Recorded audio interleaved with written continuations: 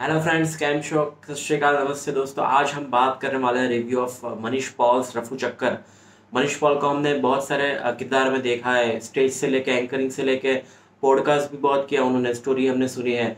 और फिर जुग जुग जुग में अभी उन्होंने एक्टिंग भी शुरू कर दी अभी ये टेलीविज़न पे उसके पहले कोई uh, किरदार आ रहा है जो कि रफू चक्कर में वो एक कॉन मैन की भूमिका में है दोस्तों।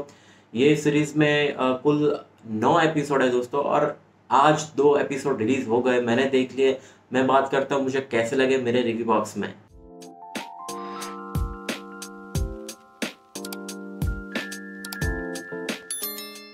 टेलर सीज की स्टोरी का मैं अंदाज आ गया था कि मतलब इसमें मनीष पॉल का जो कैरेक्टर है, वो पवन कुमार बावरिया करके है वो अलग अलग चार देश में अलग अलग जगह पर, अहमदाबाद, जयपुर, दिल्ली, मुंबई वगैरह में चूना लगाते हैं सबको मतलब पूरा अपना डिस्गाइज करके, वेश बदल के और पूरा किरदार ही लगे कभी वो मैरिज सेरेमनी को ऑर्गेनाइज करने का काम करता है, कभी जिम ट्रेनर का काम करता है, कभी सत्तर साल का बूढ़ा बन जाता है। तो ये सब डिस्गाइज बहुत अच्छी तरीके से दिखाया है। तो मुझे बहुत एक्सपेक्टेशन थी कि नहीं यार, बढ़िया होने वाला है। पर दोस्तों, मैं बोलूँगा कि दो एपिसोड से पता चल जाता है कि मैं बिल्कुल निराश हुआ हूँ। मुझे मतलब दो एपिसोड में कुछ ऐसा लगा ही नहीं कि मतलब मज़ा आ गया। एक भी बार वो वाव मूवमेंट होता है ना, बिल्कुल कहीं वाव मूवमेंट नहीं थी। मतलब देख रहे हैं पूरा पहला एपिसोड देखा दूसरा देखा ओ ओके ये हुआ ठीक है। यार ऐसी कोई सीरीज़ बनाते हैं जियो सिनेमा यार कुछ भी फ्री में दे रहे हो तो मतलब हमको कंप्लेन भी नहीं करनी चाहिए कि फ्री में जो भी कुछ है हमें वो तो बोलते नहीं आप देखो हमें देखने के लिए। पर आ, मैं तो खैर पूरा करने वाला हूँ सभी एपिसोड्स देखते क्या होता है। पर दोस्तों जो पहले एपिसोड में आता है कि वो एक बड़ा प्रिंस दिखाता है उसको उसका नाम अजय चौहान करके वो आता है। और एक लड़की को ऑफ़र में लेता है कि लड़की क्यों? कि बहुत मालदार बेट एम होता है। तो उसकी लड़की होती है, वो एम जिसका नाम है पठानिया। तो पठानिया का किरदार सुशांत सिंह करते हैं, वो कर रहे हैं। तो उसके अलावा मुझे कुछ पॉजिटिव नहीं लगा कि सुशांत सिंह की थोड़ी थोड़ी एक्टिंग अच्छी है, पर वो लड़की के साथ उसने कैसे पटा लिया? मतलब वो आपको कनेक्ट नहीं करवाएगा। एक एपिसोड में शुरू में दिखा देगा लड़की ने एक अच्छे खासे बंदे को मतलब मैरिज के लिए मना कर दिया।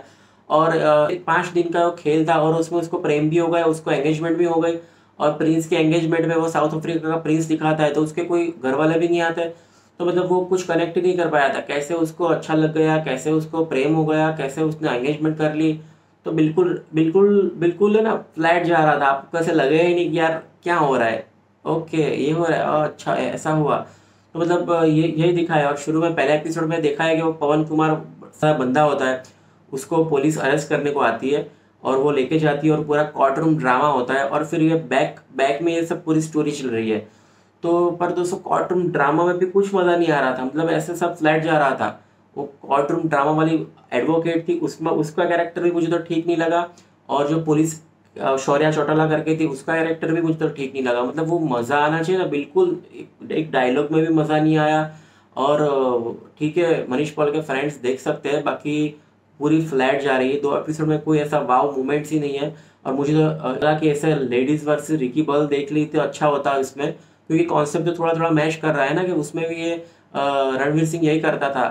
तो दोस्तों ओवरऑल निराश करेगी मुझे ऐसा लगता है। और एंड में ऐसा होगा कि जो मनीष पॉल जो सब चोरी करता है, उसके ऊपर किसी और का हाथ होगा। और कोई अंदर का ही बंदा ये सब करवाता होगा। शायद ऐसा हो सकता है। पर दोस्तों ये सीरीज़ हिट नहीं रहेगी।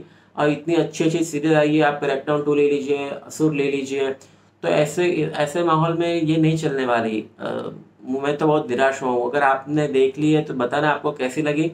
मैं तो रिकमेंड करूँगा कि आप मत देखिए और अच्छे अच्छे कंटेंट है, वो देखिए। बाद में अगर टाइम है तो इसमें टाइम वेस्ट करना। Thank you so much